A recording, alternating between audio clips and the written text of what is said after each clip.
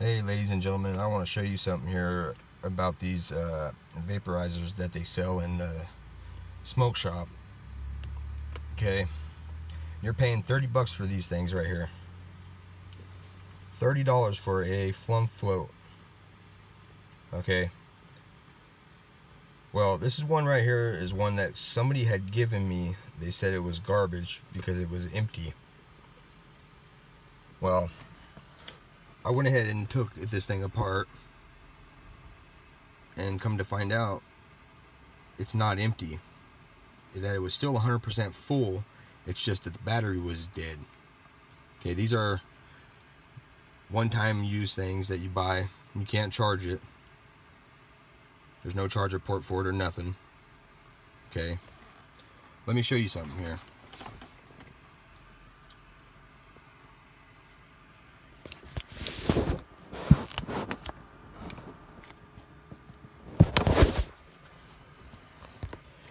here's what's inside those flum floats okay? A battery. You got the little air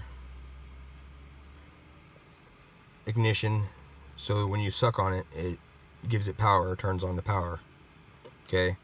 And here is the vape. See notice how there's still a whole bunch of vape in this? Therefore it's not empty it's still probably about 90% full. But the battery's dead okay? So I went ahead and charged this battery. I did I spliced the red wire and the black wire and connected a regular cell phone battery charger to it and charged it up. And it works just fine. Okay? So before you guys want to go out there and spend $30 on a flum float that's not worth it.